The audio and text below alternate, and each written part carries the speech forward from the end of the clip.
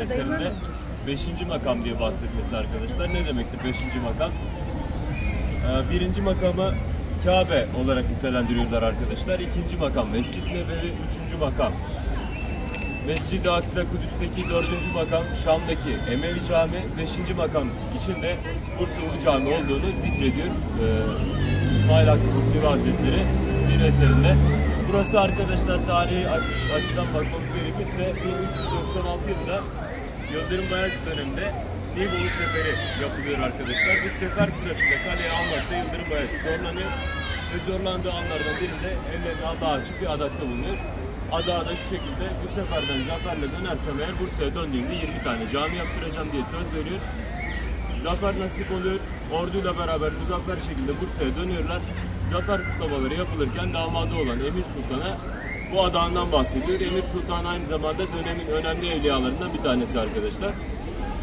Emir Sultan adağı dinledikten sonra e, Yıldırım Bayezid'e hitaben diyor ki hünkârım 20 tane küçük cami yaptırmak yerine bir tane 20 kubbeli büyük cami yaptırsanız daha iyi olmaz mı? Selahattin Camisi olur yani sultanların camisi anlamına geliyor arkadaşlar. Cuma namazlarına bütün şehir olarak orada kılarız diye bir teklifte bulunuyor. Yıldırım Bayezid'in hoşuna gidiyor ve Ulu Cami inşaatına başlanıyor 1396 yılında. 3 yıl gibi kısa bir sürede Ulu Cami inşaat tamamlanıyor. 1399 yılında bir cuma günü Cuma namazıyla beraber cami açılışı yapılıyor. Yıldırım Beyazıt damadı Emir Sultan'ı görevlendiriyor hutbeyi okuması için. Ancak Emir Sultan halkın cemaatin arasında bulunan Somuncu Baba'yı görünce Somuncu Baba'ya teklif ediyor. Somuncu Baba Fatiha suresini 7 farklı şekilde tefsir ediyor. Ve daha önceleri Bursa tarafından, Bursa halkı tarafından bilinmeyen Somuncu Baba e, alim kişiliği aslında ortaya çıkmış oluyor. Bunun üzerine Somuncu Baba Bursa'yı terk etmek istiyor çünkü diyor ki biz alimlere göre değildir şöhret diyor ve bu yüzden Bursa'yı terk etmek istiyor. Bursa'dan çıkmadan önce de Molla Fenari yetişip ikna etmeye çalışıyor. Molla Fenari ikna edemiyor fakat e, Bursa için bir hayır duasında bulunmasını istiyor Somuncu Baba'nın. Somuncu Baba'nın duası da Ey Bursa kıyamete kadar yeşil ve bereketli kalasın yönünde oluyor. Ondan sonra da zaten biliyorsunuz geldiğinizde Yeşil Bursa'ya hoş geldiniz diye hitap ediyoruz size arkadaşlar. Ee, caminin mimari yapısına bahsedecek olursak yaklaşık 3000 met- metrekare bir namaz alanı var arkadaşlar. 5000 kişi cemaat kapasiteli. 20 tane kubbesi var.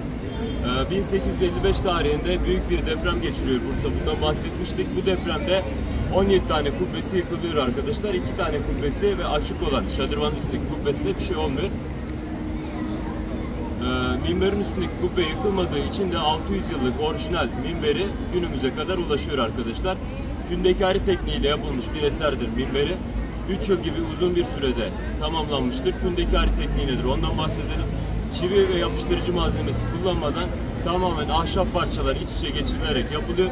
6666 tane parçadan oluşuyor. Sağ tarafında güneş sistemi, sol tarafında galaksi sistemi ustası tarafından nakşedilmiş. Bir de değerli misafirler Yavuz Sultan Selim zamanında biliyorsunuz kutsal topraklar fethediliyor. Yavuz Sultan Selim kutsal toprakları aldıktan sonra Bursa'da Bursa'nın ipeği meşhurdur. İpekten bir Kabe örtüsü yapılması için emir veriyor. Burada yapılan Kabe örtüsü kutsal topraklara götürülüp Kabe'nin kapısına asıldıktan sonra eski Kabe örtüsünü Yavuz Sultan Selim'e hediye ediyorlar. Yavuz Sultan Selim de Bursa Ulu Cami'de Kabe örtüsünün güzel durabileceğini düşünerek Bursa Ulu Cami'ye hediye ediyor.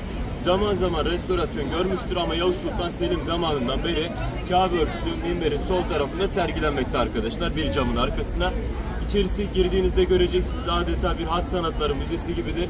Yaklaşık 20 tane farklı hatlatın kaleminden çıkmış 172 tane Hüsnü Hat eseri mevcuttur arkadaşlar. İçeride bir şadırvan göreceksiniz. Osmanlı mimarisinde Bursa üslubu diyoruz, e, diyoruz buna. Şadırvanın olmasının sebebi orada e, ibadet eden cemaate huzur vermesi arkadaşlar. Ayrıca müderrisler ders işlerken Ulu Cami'de sesleri birbirine karışmasın, su sesi onların gürültüsünü absorbe etsin diye. Üst tarafta şadırvanın üstünde kubbe göreceksiniz. Kubbe açıktır. O zamanlar mumlarla, kandillerle aydınlatılıyor cami elektrik olmadığı için. İçeride biriken kirli havanın bir şekilde dışarı tahliye edilmesi lazım. Bunun için de 3 tane kapısı, doğu, batı ve kuzey kapıları ve üstünde de açık bir kubbe var arkadaşlar. Buradan kirli hava tahliye ediliyor ve bu sayede içerideki temiz hava korunmuş oluyor değerli misafirler. Daha fazla vaktinizi almak istemiyorum. Ee, hanımlar için söylüyorum eğer camiye girmek